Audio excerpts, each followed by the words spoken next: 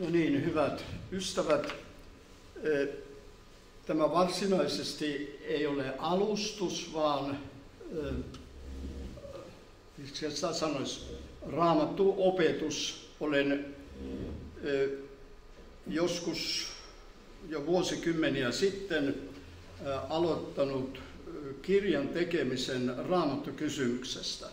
Mutta sitten se jäi minulta kesken siinä piispusvuosieni aikana ja oli varmaan ollut nyt parikymmentä vuotta jäissä.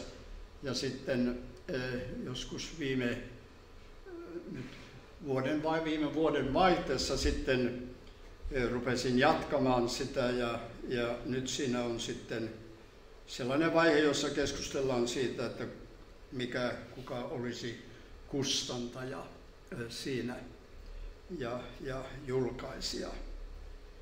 Vielä siihen varmasti pieniä korjauksia tulee jonkin verran, mutta ei nyt mitään varmasti suurempaa. Valitan, että tämä ei ole ihan lyhyt nyt. Mä olen sen kirjan disposition jäsentely jakanut kahteen osaan ja sen tähden näitä tällaisia opetuksia tästä teemasta on nyt kaksi. Näin on Hannu Halosen kanssa sovittu. Tämä on ensimmäinen ja sitten sovitaan Hannun kanssa ehkä tänä iltana vielä tämän jälkeen, että koska oli se, olisi se jatko sitten. Tämä on paikoin sitä kirjatekstiä, mutta huomattavasti kuitenkin lyhennettynä ja sitten jätetty myöskin muutama kirjan luku tästä kokonaan pois. Tämä on ollut nyt johdannon johdantoa. Ja nyt sitten varsinainen johdanto. Kristikunnassa on eri aikoina ollut esillä erilaisia tärkeitä kysymyksiä keskustelun ja tutkimuksen kohteina. Varhaiskirkon aikana sellainen, sellaisena oli Jeesuksen persona, eli kristologia ja kolminaisuusoppi. Uskonpuhdistuksen aikana ydinkysymyksenä ja keskustelun aiheena oli vanhurskauttamiskysymys, ja meidän aikanamme polttava kysymys on, vaikka harvat, no sanonko liikaa, harvat tietävät, että että raamattu kysymys olisi sellainen, tai kaikki eivät ainakaan myönnä sitä, mutta tosiasiassa asiassa raamattu kysymys on nyt keskiössä, tai ainakin sen tulisi olla.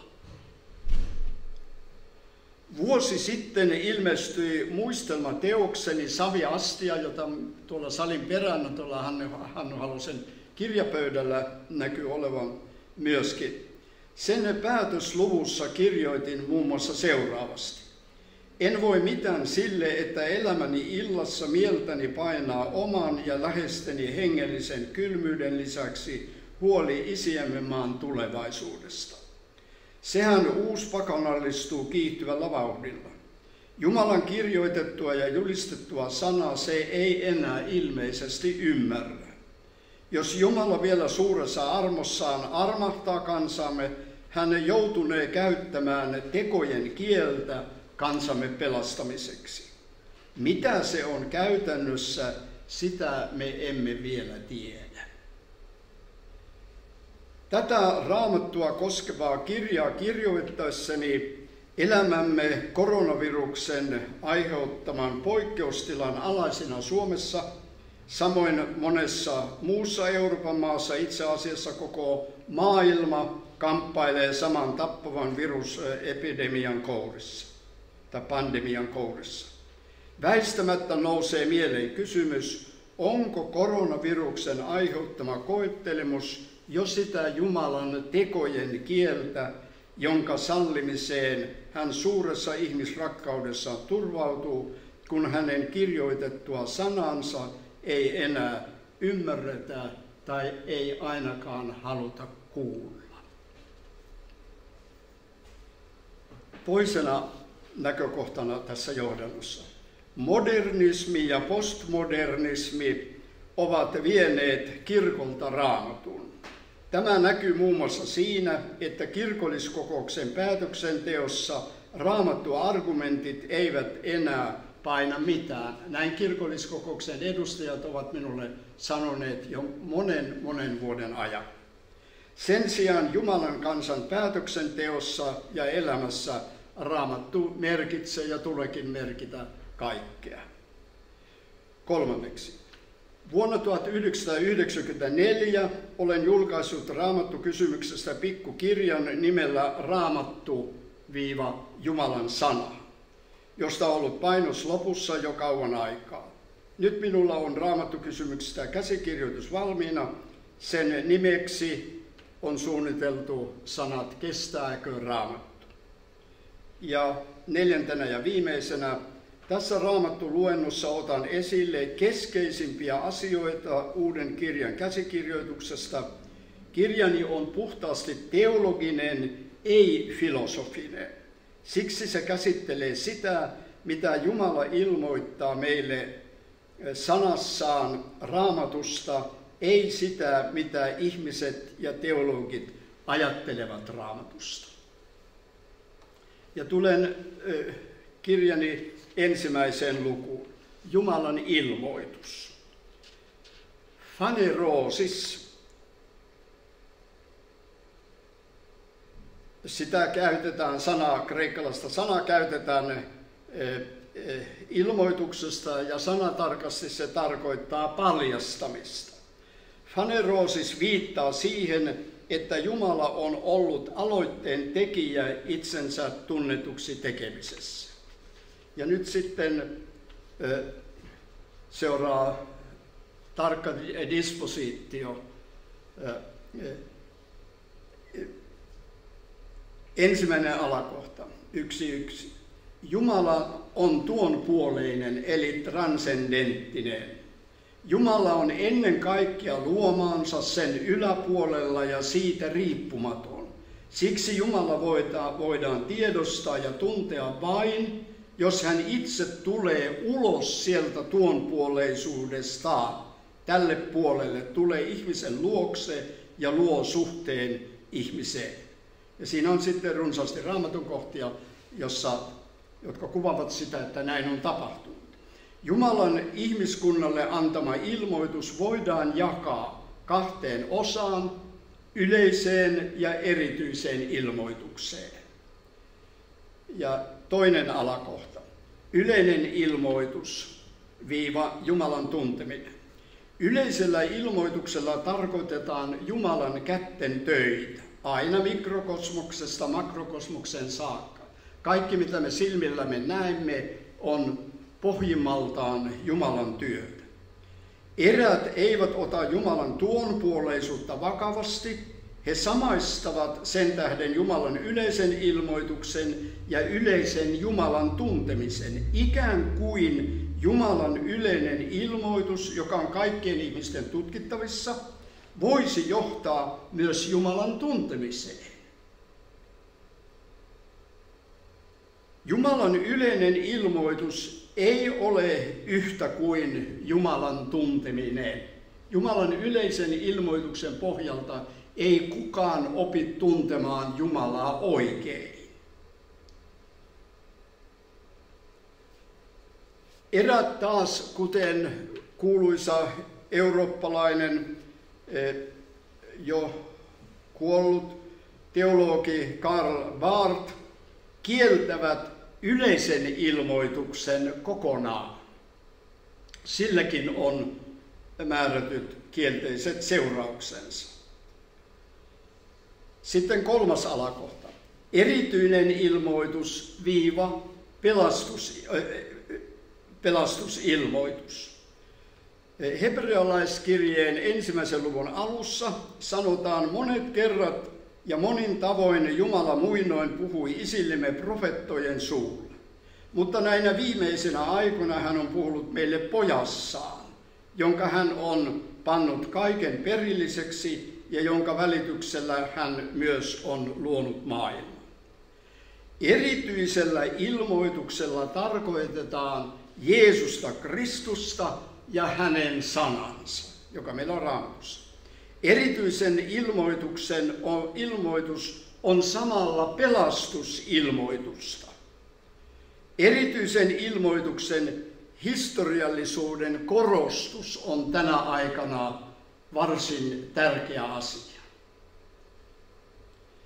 Sitten neljäs alakohta. Raamatun kielet ja tekstit. Siitä on kirjassani 16,5 sivua. Sen jätän pois. Voitte sitten lukea kirjastani. En jätä pois sen takia, että se ei olisi kiinnostavaa. Mutta kun täytyy jotain jättää ja lyhentää, niin näin, näin hyväksi. Esitän tässä tästä vain lyhyen tiivistelmän.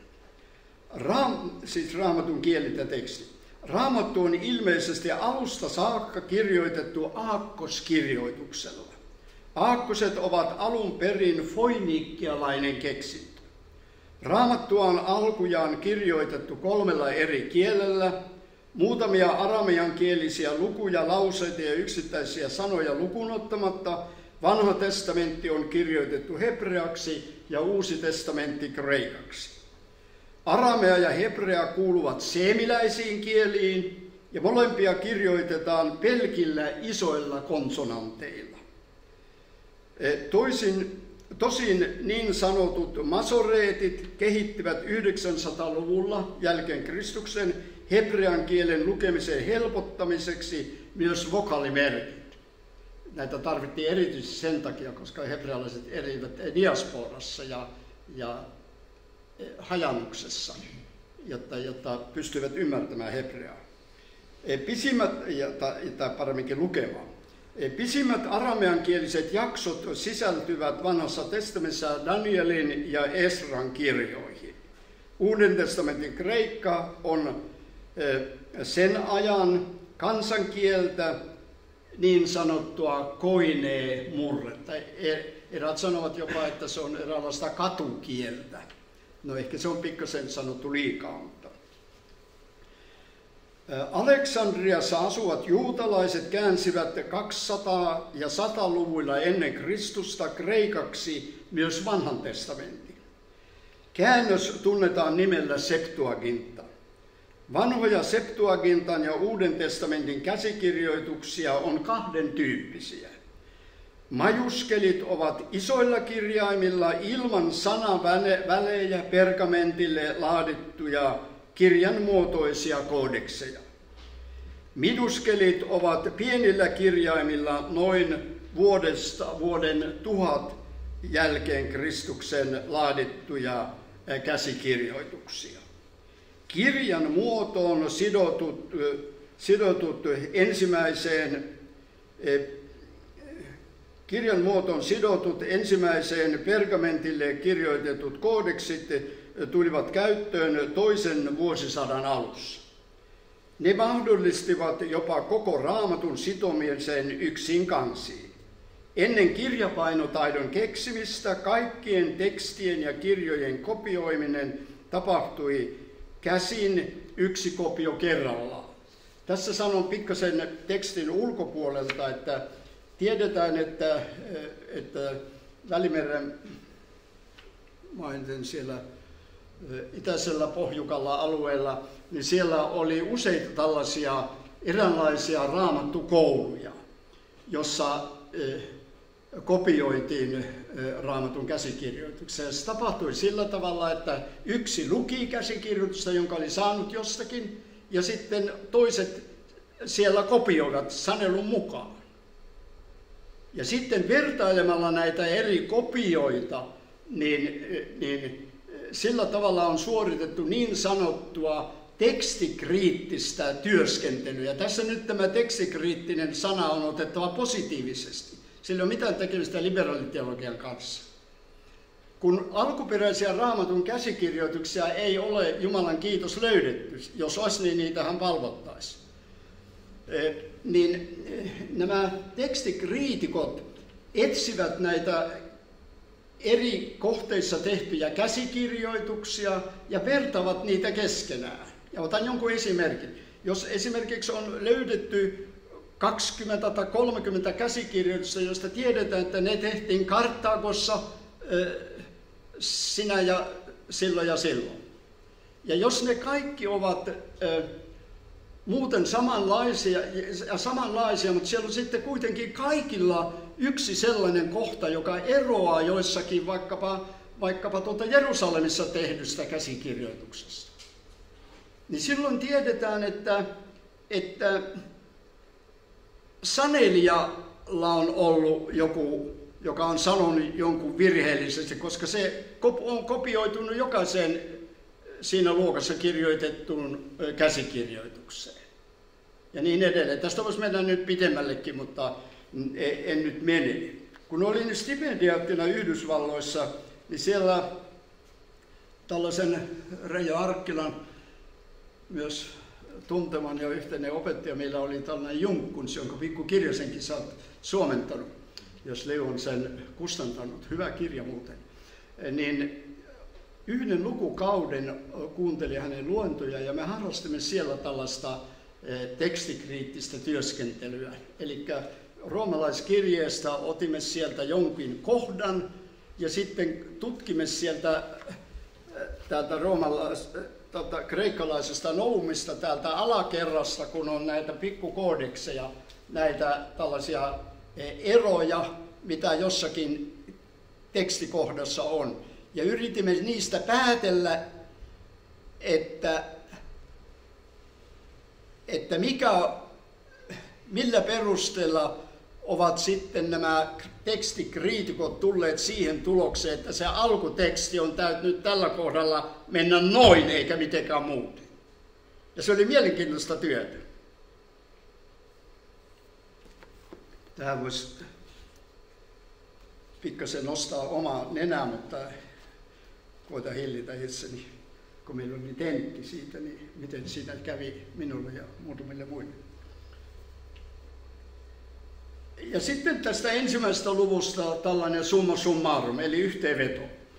Tuloksena ensimmäisestä pääluvusta nyt siis jo kuulemastanne todettakoon seuraava. Jumala on tuon puoleinen eli transcendenttinen, joka häntä tuntee, tuntee siksi, että hän on itse ilmoittanut itsensä, siis Jumala. Ilmoitus jaetaan teologiassa yleiseen ja erityiseen, luonnolliseen ja yliluonnolliseen ilmoitukseen. Kaksi. Jumalan yleisellä ilmoituksella tarkoittaa hänen, kättensä töitä mikrokosmuksesta makrokosmuksen saakka. Jumalan työt ovat jokaisen katseltavissa. Yleisen ilmoituksen perusteella ihminen saa aavistuksen Jumalan olemassaolosta ja hänen suuruudestaan mutta se ei merkitse kuitenkaan vielä todellista Jumalan tuntemista. Jos kiellämme yleisen ilmoituksen, siitä seuraa muun muassa, että myös luonnollinen lain tunteminen tulee kielletyksi. Eli Raamattustahan näemme, että on olemassa niin sanottu yleinen lain tunteminen, luonnollinen lain tunteminen. Sillä tarkoitetaan sitä, että, että meillä on jokin tajuus sisimmässä, vaikka emme olisi raamatusta lukeneet sanakaan, siitä mikä on oikein ja mikä väärin. Kymmenet käskyt sanovat esimerkiksi, että älä varasta. Viimeistään siinä vaiheessa, kun meiltä itseltämme varastetaan, niin me tajuamme, että se ei ole oikein varastaa. Ja kolmanneksi, jos haluamme ymmärtää yleisen ilmoituksen mahdollisuudet todellista Jumalan tuntemista ja ihmisen pelastusta ajatellen, meidän on ymmärrettävä se sitä taustaa vasten, mitä Raamattu sanoo Jumalan tuonpuoleisuudesta, ihmisen synnistä ja erityisen ilmoituksen välttämättömyydestä. Ja tähän kaikkeen on pidätyttävä samanaikaisesti. Tämän tähden yleisen ilmoituksen tulkitseminen luonnolliseksi Jumalan tuntemiseksi on torjuttava. Neljäs ja viimeinen. Raamatun alkukielet ovat hebrea, aramea ja kreikka. Aito aramea ja hebrea kirjoitetaan pelkillä isolla konsonanteilla. Tosin 900-luvulla jälkeen Kristusta Kesareassa kehitettiin niin sanottu masoreettinen hebrea, joka sisältää myös vokalimerkit. Myös kreikaksi käännetty vanha testamentti Septuaginta ja Uusi testamentti kirjoitettiin aina tuhatluvulle saakka isoilla kirjaimin ja ilman sanavälejä, siis ihan yhteen pötkyyn koko sivu.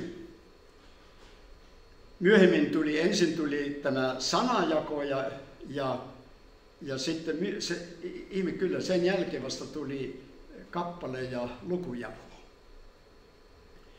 Vanhimmat raamatun käsikirjoitukset on laadittu papyrukselle ja pergamentille. Kirjan muotoon sidotut ensimmäiset raamatun koodeksit tulivat käyttöön toisella vuosisadalla jälkeen Kristuksen. Vasta kirjapainotaidon keksiminen 1400-luvulla mahdollisti raamattujen painamisen suurina erinä ilman työlästä käsin kirjoittamista kopio kerrallaan. Tulemme toiseen kirjan toiseen lukuun. Raamatun opetus itsestään. Uskonpuhdistuksen raamatuperiaatteen ja myös luterilaisten tunnustuskirjojen mukaan raamattu on uskon, elämän ja opin ainoa ohje ja auktoriteetti, jonka mukaan kaikkea oppia ja kaikkia opettajia on tutkittava ja arvosteltava. Luterilaisen käsityksen mukaan periaatteellisen vedenjakajan oikean ja väärän opin välillä muodostaa aina se valinta, mistä me oppimme otamme. Jumalan ilmoituksestako vai sen ulkopuolelta? Kristitty on sidottu raamatun omaan raamattunäkemykseen. Uskonpuhdistuksen raamattu-periaatteen mukaan jokainen oppi, ja tämä on tärkeää, myös raamattuoppi, eli oppi raamatusta, on otettava yksin raamatusta. Sen mukaan me näemme raamatusta ja viime kädessä vain raamatusta, mikä on oikea oppi sovituksesta, vanhurskauttamista, pyhityksestä, kasteesta ja niin edelleen. Samalla tavalla me näemme raamatusta ja viime kädessä vain raamatusta, mikä on oikea oppi raamatusta. Eli Jumalan sanassaan antamaa ilmoitusta ajatellen Jumala ei ole jättänyt meitä oman harkintamme ja viisautemme varaan arvioimaan, mitä raamattu on, vaan hän on sanassaan ilmoittanut meille, mitä raamattu on. Niin kuin hän on ilmoittanut senkin, miten ihminen pelastuu ja niin edelleen. No tätä, mitä nyt tässä viimeksi olen sanonut, niin esimerkiksi luterilaisen kansankirkon papeista vain aniharvat hyväksyvät. Hyväksyisivät. Vai sanokaa liikaa? Mitä Reijo arvoilet? No, joo. No, sen tutkimisen, mitä Raamattu opettaa itse itsestään, voidaan parhaiten suorittaa seuraavalla tavalla. Ensin katsotaan, miten vanha ja uusi testamentti liittyvät toisiinsa. Sen jälkeen perehdytään vanhan testamentin opetukseen itsestään ja sitten uuden testamentin opetukseen vanhasta testamentista. Toisin sanoen Jeesuksen ja apostolien suhtautumiseen vanhaan testamenttiin. Lopuksi paneudutaan uuden testamentin käsitykseen itsestään eli Jeesuksen opetukseen omien sanojensa arvovallasta sekä hänen ja apostolien opetukseen viimeksi mainittujen eli apostolien opetuksen asemasta. Tulee toisen luvun ensimmäisen alakohtaan. Vanhan ja uuden testamentin välinen suhde. Vanha ja uusi testamentti muodostavat yhden kokonaisuuden. Kristinuskon juuret ovat kaukana menneisyydessä, ne eivät ala Matteuksen evankeliumista. Ne ovat syvällä vanhassa testamentissa.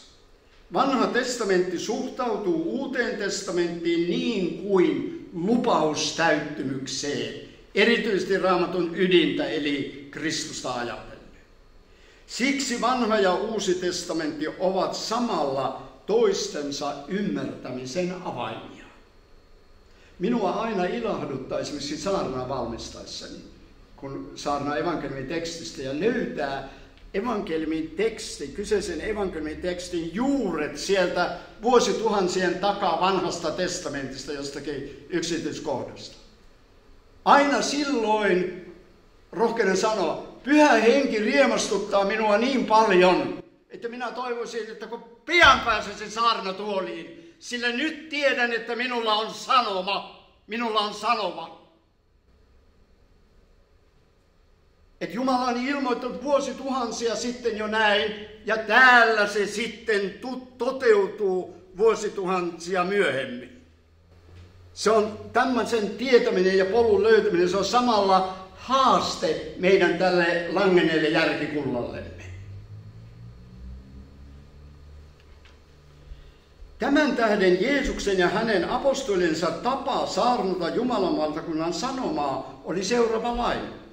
He osoittivat vanhasta testamentista, että Jeesus on Jumalan Messias, jonka hän oli, on luvannut vanhan testamentin kirjoituksissa. Noustuaan kuolleista Jeesus ilmestyi kahdelle opetuslapselle Emmaukseen johtavalla tiellä, ja hän selitti heille Mooseksesta ja kaikista profetoista alkaen, mitä hänestä oli kaikissa kirjoituksissa sanottu. No mitä tämä merkitsee? Ajatelkaa, Jeesus oli kuollut ja noussut ylös ja hän tapaa opetuslapset siellä, pari opetuslasta siellä Emmoksen tiellä. Olisi olettanut, että hän alkaa kertoa jymyjuttuja, mitä hän koki ja näki, jota kukaan muu ei ole kokenut. Mutta vielä mitä? Mitä hän rupesi tekemään? Hän rupesi pitämään heille raamattu tuntia vanhasta testamentista. Miksi? Siksi, että hän halusi jättää opetuslapset Jumalan sanan varaan, eikä jymyjuttuja varaan. Vaikka ne, jos hän olisi kertonut siitä, mitä hän koki, niin ei ne mitään juttuja olisi ollutkaan, mutta siitä huolimatta. Kun eräälle ystävälleni nuorena pappina selvisi vanhan ja uuden testamentin välinen yhteys, hän leikkasi saksilla raamatustaan vanhan ja uuden testamentin välilehdet pois, ilmaisten näin samalla sitä riemua, mitä hän koki opettaessaan seurakunnalle Kristuksesta aloittaen Jeesuksen ja hänen apostoliensa tavoin vanhan testamentin messiaanista ennustuksista ja osoitti, että ne ovat toteutuneet Jeesuksessa Kristuksessa.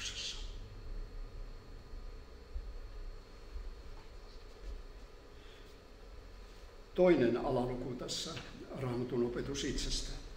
Vanhan testamentin opetus itsestään. Vanhassa testamentissa esiintyy lause, näin sanoo Herra, yli 3800 kertaa. Sen kirjoittajat toistavat moneen kertaan ajatuksen, jonka mukaan sinun sanasi on kokonansa totuus, psalmi 119-160. Niin Herra minun Jumalani, sinä olet Jumala, sinun sanasi käyvät toteen, ja sinä olet antanut minulle tämän suuren lupauksen. 2 Samuel 7. Jumalan jokainen sana on tulessa koeteltu, hän on niiden kilpi, jotka hänen turvaa. Sanalaskut 30.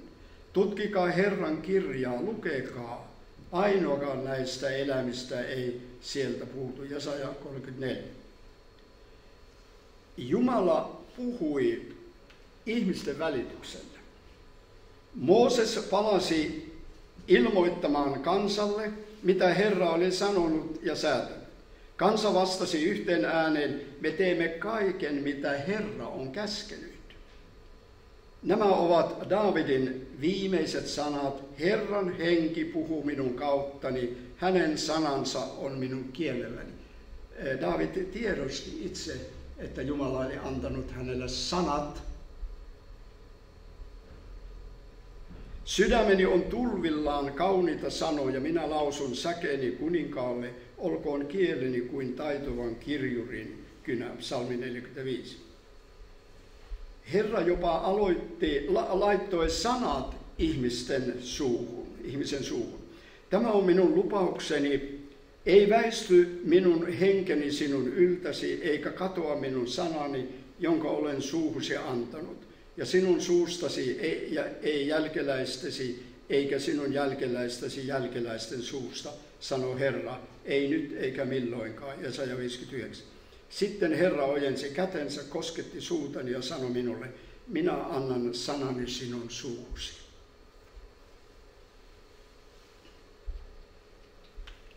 Tässä tekisi mieli kertoa eräs esimerkki, mutta jätän sen nyt.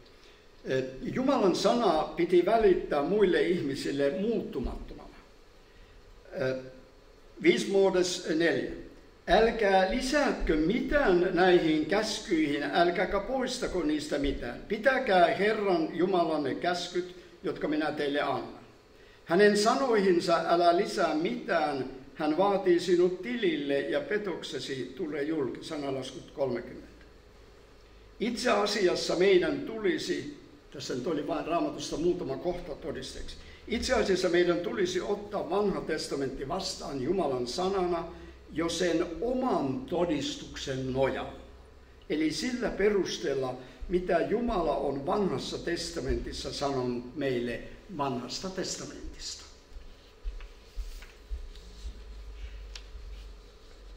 Kolmas alaluku tässä eh, toisessa luvussa, eli raamatun opetus itsestä. Uuden testamentin opetus vanhasta testamentista. Entä millainen on Uuden testamentin suhtautuminen vanhaan testamenttiin? Uusi testamentti koostuu evankeliumeista eli Jeesuksen opetuksesta ja apostolien teoista ja heidän kirjeistään, eli apostolien opetuksesta. Katsomme ensin, millainen oli Jeesuksen suhtautuminen vanhaan testamenttiin ja sen jälkeen, miten apostolit asennoituivat vanhan testamentin kirjoituksiin. Nyt tulee tämän kolmannen alakohdan alakohta. 231. Jeesuksen suhde vanhaan testamenttiin. Vanha testamentti oli koottuna jo Jeesuksen aikana. Vanha testamentti oli Jeesuksen raamattu. Jeesus antoi vanhalle testamentille jumalallisen arvovallan. Hän alistui itsekin sen alle. Evankeliumissa on runsaasti esimerkkejä Jeesuksen asenteesta vanhaan testamenttiin. Otan vähän ryhmiteltynä muutamia esille. Ensin Jeesuksen suorat lainaukset vanhasta testamentista. Jeesus nuhteli saddeuksia siitä, etteivät he tunteneet vanhaa testamenttia. Te eksytte, te kuljette eksyksissä ja mistä syystä? Koska ette tunne kirjoituksia, ettekä Jumalan voimaa. Jeesus sanoi fariseukselle myös, ettekö ole lukeneet, tai ettekö lais, ole lukeneet laista. Hän sanoi heille myös, menkää ja tutkikaa, menkää kotiin ja opiskelkaa vanha testamenttia. Jeesus varusti, varusti vuorisaarnansa seuraavanlaisella johdannolla, ja siihen oli määrätty syy.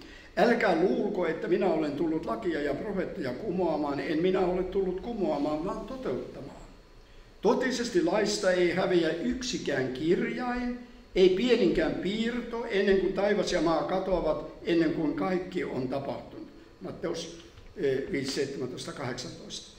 Kirjain kreikaksi jootta tarkoittaa tässä hebrean aakkosten pienintä kirjainta jod, jolla ei ole edes äänearvo. Piirto kreikaksi keraja merkitsee tutkijoiden mukaan käsikirjoituksen tekstin käsialaan kuuluvia yksilöllisiä piirteitä, joista käsikirjoituksen kirjoittaja tunnetaan käsialasta. Tai sellaisia kirjoituksessa olevia merkkejä, kuten iin piste tai teen viiva, joilla joita käytetään erottamaan kaksi muuten samanlaista kirjainta toisesta. Kirjoitetaan pikku u, pannaan piste päälle, niin se on tupla i. Tai kirjoitetaan tupla l, vedetään viiva yli, se on tupla t. Nämä i-pisteet, t-viivat tai käsikirjoituksi, käsillä kirjoitettu käsialan tunnistettavat koukerot, ne on näitä merkkejä. Vuorisaarnassaan Jeesus sanoo kaikkiaan kuusi kertaa. Te olette kuulleet sanoituksi, sanotuksi vanhoille, mutta minä sanon teille. Tai vastaan. Monet tulkitsevat kyseiset kuusi kohtaa niin, että kolmassa kohdassa Jeesus kumoaa vanhan testamentin opetuksen ja kolmassa kohdassa hän mukaan syventää niitä mutta mä väitän, että ei tehnyt kumpaakaan. Ja sen takia hän varoitti jo etukäteen siellä johdannossa näitä tästä keräjästä ja jodista. Eli enempää vuorisaarnassaan kuin koko Uudessa testamentissa ei ole ainuttakaan esimerkkiä siitä, että Jeesus oli noussut, olisi noussut vastustamaan tai ryhtynyt edes korjailemaan vanhaa testamenttia. Sellaiseksi eivät kelpaa edes hänen vuorisaarnansa kuusi antiteesia, te olette kuulleet sanotuksi vanhoille, mutta minä sanon teille. Vuorisaarnassa Jeesus haluaa riisua Jumalan lain isien perinnäissäännöistä ja antaa sen aitona ja alkuperäisenä jälleen kansan käsiin. Jeesus ei vuorisaarnassaan liioin myöskään syvennä vanhan opetusta, sillä jo Mooseksen kirjoista löytyy kaikki se, josta Jeesus sanoi, mutta minä sanon teille. Ja se, mistä Jeesus sanoo taas, että te olette kuulleet sanotuksi vanhoille, sitä sellaisena yhdestäkään, yhtäkään niitä kohtaa ei löydy vanhasta testamentista. Ne oli e, kirjanoppinut ja fariseusten te- tekemiä tulkintoja. Ja Jeesus halusi riisua Jumalan sanan niistä ja ojentaa puhtaana, alkuperäisenä vanhan testamentin kansan käsiin. E, toinen ryhmä näitä tästä Jeesus esimerkiksi. Jeesus alistui itsekin vanhan testamentin alle. Jeesus alistui, äh, hän, hän torjui perkeleen kiusaukset vetoamalla vanhaa testamentti. Kirjoitettu on, hän sanoi kiusaajalle saatanalle, ja se riitti. Jeesus ammensi myös kutsumustietoisuutensa vanhasta testamentista. Tätä ilmentää jo hänen vastauksensa 12-vuotiaana Marjalle ja Joosefille Jerusalemin temppelissä. Mitä te minua etsitte? Ettekö tienneet, että minun tulee olla siellä, missä mä tiedän isäni olevan? Jeesus sovelsi vanhan testamentin messiaaniset profetiat myös itsensä. Jeesus ajoi ulos riiva ja henki ja paransi sairaita, niin kuin vanhassa testamentissa oli Messiasta ennustettu. Jeesus kertoi etukäteen opetuslapsilleen myös tulevasta kärsimisestä ja kuolemastaan. Jeesus sanoi menevänsä Jerusalemiin, jotta kirjoitukset kävisivät toteen. Jeesus asettui kutsumuksensa täyttämisessä vanhassa testa, vanhasta testamentista riippuvaiseksi kaikessa.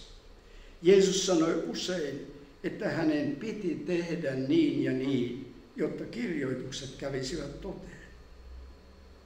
Se sisälsi tämän en voi enkä halua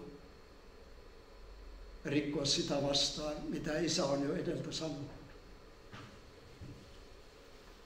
Mutta alistumalla vanhan testamentin sanan alle hän myönsi, että myös vanhan testamentin sanoma oli annettu taivaasta.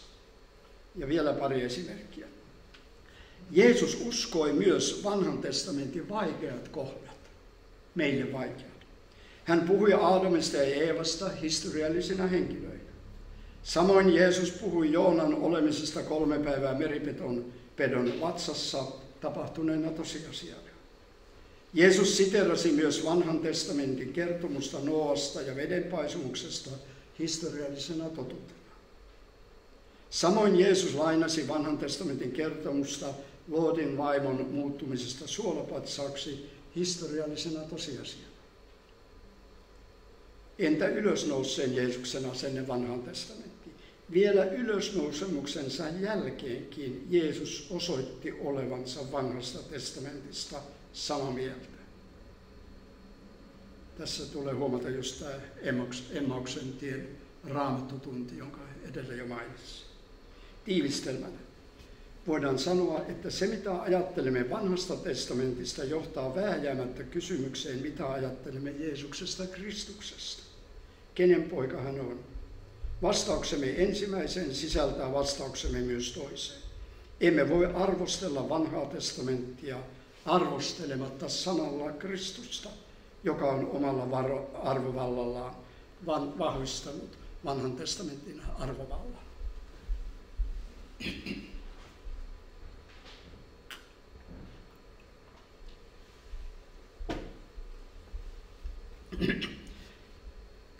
Entä apostolien suhde vanhan testamentin? Koko ajan nyt puhumme vielä vanhan testamentin arvovallasta. Apostolit siterasivat vanhaa testamenttia Jumalan sanana. Apostolit pitivät vanhaa testamenttia kristityille kuuluvana kirjana. En nyt lue näitä raamatun kohtia, niistä, niistä se näkyy. Paavali puhuu maaherra Felixin edessä, mutta sen minä sinulle tunnustan, että minä sitä tietä vaeltaen, jota he lahkoksi sanovat, niin palvelen isieni Jumalaa, että minä uskon kaiken, mitä on kirjoitettuna laissa ja profetoissa. Ja voin vakuuttaa, että emme ole vallan huonossa seurassa, jos uskomme niin kuin Paavali uskoi. Nuorelle työtoverilleen Timotukselle Paavali kirjoittaa, jokainen pyhä, Jumalan hengestä syntynyt kirjoitus on hyödyllinen opetukseksi, nuhteeksi, ojennukseksi ja kasvatukseksi Jumalan tahdon mukaiseen elämään. Evankeliumin ensimmäiset julistajat todistivat Kristuksesta vanhan testamentin profetaalisen tekstin täyttymyksenä. Toisin sanoen raamatun ulkopuolella ei ole mitään jatkuvaa ilmoitusta. Kristus löytyy vain vanhan testamentin ja uuden testamentin kirjoituksista, eli raamatusta. Jumalan suuri suuruus ja luomisvoima, ja tämä löytyy kyllä yleisestäkin ilmoituksesta. No entä Uuden testamentin opetus itsestään? Mitä itse Uusi testamentti sanoo itsestään? Uusi testamentti koostuu kahdenlaisesta materiaalista. Evankeliumeista eli Jeesuksen teoista ja opetuksesta ja toiseksi apostolien teosta ja, heidän kirjeistään. Ensin tutustumme Jeesuksen käsitykseen omasta asemastaan ja sen jälkeen apostolien opetukseen. No Jeesuksen opetuksen arvovalta. Jeesus vaati, omil, äh, vaati omille sanoilleen jumalallista arvovaltaa. Hän sanoi, minun oppini ei ole minun, vaan hänen, joka on minut lähettänyt. Jeesus vakuutti kuulijoilleen, taivas ja maa katoavat, mutta minun sanani eivät katoa. Jeesus väitti, että ihmisten iankaikkinen kohtalo riippuu siitä, miten he suhtautuvat tähän sanaan. Jeesuksen sanojen jumalallisesta arvovallasta todistavat myös hänen lukuisat tunnustekonsa, parantamisihmeet, kuolesta herättämiset ja niin edelleen. Profeetat olivat jumalallisen inspiraation välikappaleita ajoittain ja eri asteisesti. Jeesuksessa pyhä henki asuu sen sijaan pysyvässä täyteydessä. Ja hän itse on lihaksi tullut Jumalan sana. Hänen muistiin merkityt sanansa ovat vähintään yhtä suuren kunnioituksen arvoiset kuin vanhan testamentin profettojen sanat. No apost- apostolien opetuksen arvovalta. Apostolit olivat suuresta opetuslapsijoukosta rajattu pieni ryhmä. Apostoloihin kuuluvat 12 opetuslasta, Mattias Juudaksen tilalla sitten myöhemmin, myöhemmin myös Paavali ja Jaakob, joka oli Herran veli. Apostolit olivat Jeesukselle, Jeesuksen erityislähettiläitä. He tekivät työtä ja puhuivat Jeesuksen nimissä ja arvovallassa, arvovallalla. Kun Jeesus lähetti heidät, hän sanoi, joka ottaa vastaan teidät, ottaa vastaan minut, ja joka kuulee teitä, se kuulee minut sivuhuomautuksena tässä, että Raamattu puhuu muuten käyttää sanaa apostolit kahdessa eri merkityksessä. Toinen suppeammassa tarkoittaa niitä 12 ja sitten laajennussa, jossa siihen kuului muutama äh, muukin. Esimerkiksi juuri Jaakob, Jeesuksen veli, joka ei vielä Jeesuksen maanpäällisen elämän aikana uskonut häneen.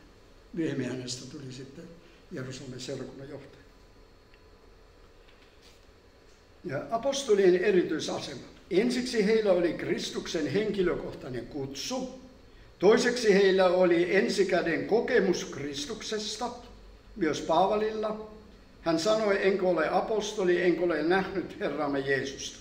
Paavali väittää tosin, eh, toisin sanoen, että Damaskon tien ilmestys oli todellinen, objektiivinen Jeesuksen ylösnousemus ja että se oli samalla viimeinen.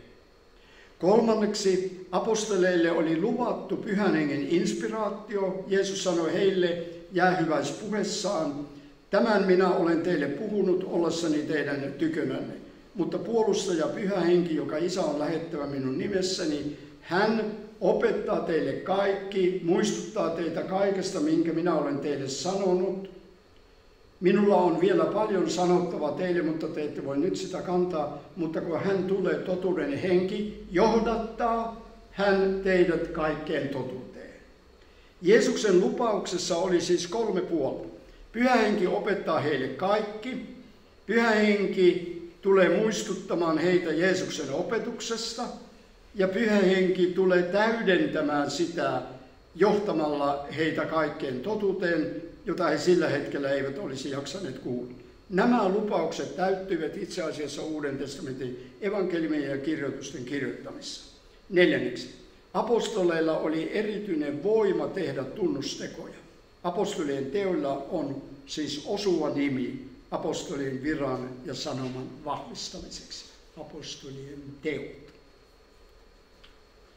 No entä apostolien arvovallan vahvistaminen?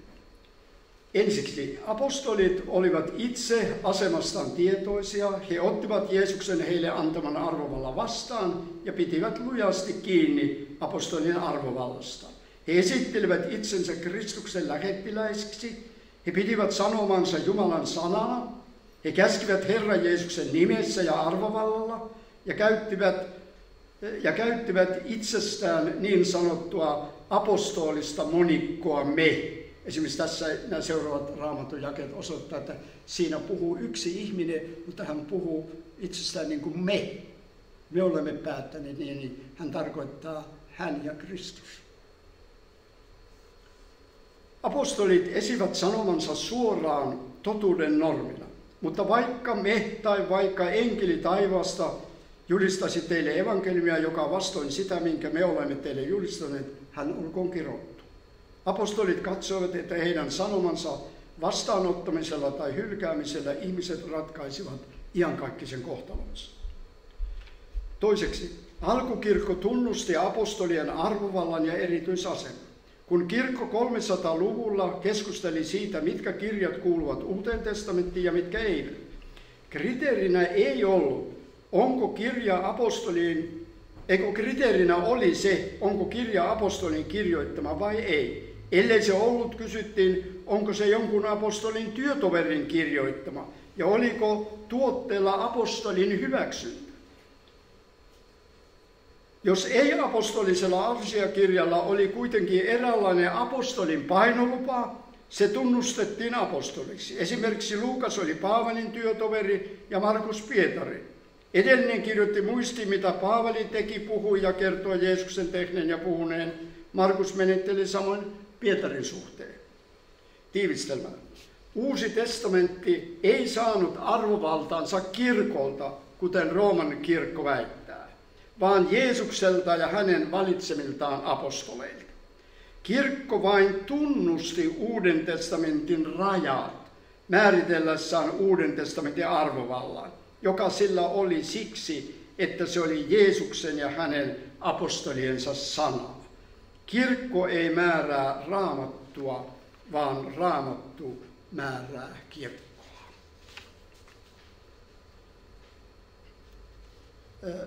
Mulla on tässä tämä summa summarum, jossa toistan tämän niin tiivistäen ajan voittamiseksi. Hyppään sen yli. Tulemme kolmanteen eli viimeiseen tänään kuulmassamme kuulemaamme lukuun, Raamatun kaanon. Raamatun kaanonilla tarkoitetaan kirkon käytössä olevaa arvovaltaista raamatun kirjojen kokoelmaa. Protestanttisessa teologiassa kaanon kysymys on tärkeä, koska sillä on suora vaikutus raamatun arvovaltakysymykseen. Protestanttisissa kirkoissa on pitäydytty raamatun kaanoniin, joka sisältää 66 kirjaa, vanhassa testamentissa 39 ja uudessa 27 kirjaa. Ja jotka esiintyvät Atanauksiuksen kirjeessä vuodelta 367 ja Karthagon konsiilissa vuodelta 397. Vanhan testamentin osalta katolinen kirkko pitää, siis katolinen kirkko pitää Trentossa vuonna 1546 tekemänsä päätöksen mukaisesti kanonisina myös seitsemää Septuagintasta mukaan otettua apokryyfikirjaa, eli yhteensä heidän vanhassa testamentissa on 46 kirjaa. Ortodoksinen kirkko puolestaan hyväksyi vuonna 1672 Jerusalemin synodissa vanhan, testament, vanhan testamentin kanoninsa apokryfikirjoista vielä neljä kirjaa lisää, yhteensä 50 plus 1. Eli käytännössä ortodoksisen kirkon kaanon on yhtä kuin koko Septuaginta. Eli vanha, meidän vanha testamenttimme ja sitten ne kaikki teotterokanoniset apokryfikirjat, jotka on Septuagintassa. Kreikkalais, kreikkalaiskatolinen kirkko jopa sanoi, että Septuagintan teksti on, kun se on kreikka, niin, niin se on toinen alkuteksti, jopa, raamatun alkuteksti, jopa käyttää tätä nimitystä. Kaanon kysymyksen varsinainen dilemma on se, kuka tai ketkä ja millä perusteella ovat valinneet ne kirjat ja kirjeet, jotka kuuluvat raamattuun. Ja nyt erikseen muutama ajatus vanhan kaanonista ja uuden testamentin. Vanhan testamentin kaanonime on sama kaanon, joka juutalaisilla oli jo Jeesuksen ja apostolien aikana, eli hebrealainen Tanak. Meidän vanhan testamentin kaanonime on Jeesuksen ja apostolien raamattu. Heidän arvovaltansa riittää vanhan testamentin kaanonin arvovallan perustaksi. Tosin eh, hebrealaisessa Tanakissa, vanhassa testamentissa, jotkut kirjat ovat toisessa järjestyksessä, vähän se ei muuta itse asiaa. Jo noin 2000 vuotta ennen Kristusta vanha testamentti oli käännetty myös kreikaksi. Kreikkalainen vanhan testamentti tunnetaan nimellä Septuaginta tai toistoa. Vanhan testamentin kirjojen järjestys kanonissa on eri aikoina hiukan vaihdellut. Septuagintan kuului myös joukko alkuajan, äh, alkujaankin kreikaksi kirjoitettuja niin sanottuja deuterokanonisia kirjoja, joista ne ovat tulleet mukaan ortodoksisen kirkon kanoniin ja osa niistä myös Rooman kirkon viralliseen kanoniin, eli vulgataan. siis perusteeltaanhan Septuaginta on siis vanhan testamentin kreikkalainen, kreikan kielelle tehty käännös. Mutta siihen siis lisäsivät nämä juutalaiset siellä Aleksandriassa, missä tämä käännös tehtiin, niin joitakin jo valmiiksi kreikan kielellä syntyneitä deutero, siis toisarvoisia, vai miten se käännettäisiin, kanonisia kirjoituksia tai kanonisuutta ajatellen toisarvoisia. No entä Uuden testamentin kanon? Koska Jumala oli huolehtunut preliminääri-ilmoituksensa eli vanhan testamentin kanonin kokoamisesta, oli odotettavissa, että sama tapahtuisi myös Uuden testamentin kohdalla. Eli että hän kokoaa myös lopullisen kruunaavan ilmoituksensa kanoniksi, eli Uuden testamentin. Uusi testamentti koostuu kolmesta selvästi toisistaan eroavasta osasta. Ensimmäisenä osan, ensimmäiseen osaan kuuluvat neljä evankeliumia ja apostolin teot. Apostolin tekojen kirja oli toinen osa kristinuskon alkuvaiheiden historiaa, jonka kirjoitti antiokialainen lääkäri Luukas, Paavalin ystävä ja, ja matkakumppani. Siis Luukas, evankeliumi niin kuin alkukirkon ensimmäinen historia ensimmäinen osa ja apostoliteot sen toinen osa. Ja sitten toiseksi. Toinen Uuden testamentin osa käsittää 21 kirjettä. 13 niistä on Paavalin, kaksi Pietari, yksi Jaakobin, yksi Juudaksen. Lisäksi on kolme kirjettä, joissa ei mainita lähettäjän nimeä, mutta niiden läheinen yhtäläisyys neljännen evankeliumin eli Johanneksen evankeliumin kanssa on perustelma sille, että niitä nimitetään Johanneksen kirjeksi, ensimmäinen, toinen kolme Johanneksen kirje. Hebrealaiskirjeen kirjoittaja lienee viisainta olla arvailematta kun siinä ei sitä sano. No mä tunnen monia teologia ja ainakin te teologiveljet tunnette myöskin joitakin, jotka sanovat, että hebrealaiskirja olisi Paavalin kirjoittama, mutta kun sitä ei ole sanottu, niin me on, se on inhimillistä spekulointia käydä väittää niin. Kolmas Uuden testamentin osa muodostuu ilmestyskirjasta. Ilmestyskirja kuuluu apokalyptiseen kirjallisuuteen, vaikka se ei olekaan nuorin Uuden testamentin kirjoista, se on oikeutuksesti sijoitettu raamatun loppuun. koska se kuvaa nykyisessä nyky, näkyjen muodossa Jumalan pelastusilmoituksen ja historian täyttymystä. Uutta testamenttia ajatellen voidaan sanoa, että Herramme, joka vahvisti vanhan testamentin takautuvasti, vahvisti uuden testamentin edeltä käsin. Sillä Johannes kertoo evankelimissaan, kuinka Jeesus ristinnaulisemispäivänsä aattona lupasi opetuslapsille lähettää heille pyhän hengen, josta hän sanoi muun muassa näin. Mutta puolustaja pyhä henki opettaa teille kaikki ja muistuttaa teitä kaikesta, mitä minä olen teille sanonut ja johdattaa teidät kaikkeen totuuteen. Kanonisuuden kriteereitä.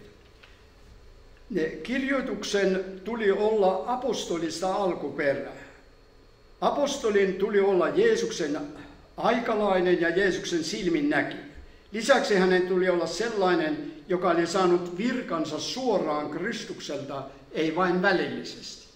Esimerkiksi minusta ei voisi koskaan eikä Reijosta eikä, no sanois nyt nimessä, niin, Halvarista voi koskaan tulla apostolia, koska mä oon synnytty vähän aikaa, vähän liian myöhemmin. Tekstin tuli olla sisällöllisesti sopusoinnissa apostolien kirjoitusten kanssa.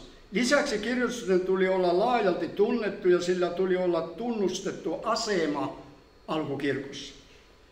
Todellisuudessa mainitut kaksi kolme kriteeriä eivät ohjanneet sittenkään kaanonin muodostumista, vaan olivat pikemminkin jälkeenpäin luotuja perusteluja jo olemassa olevalle tilanteelle.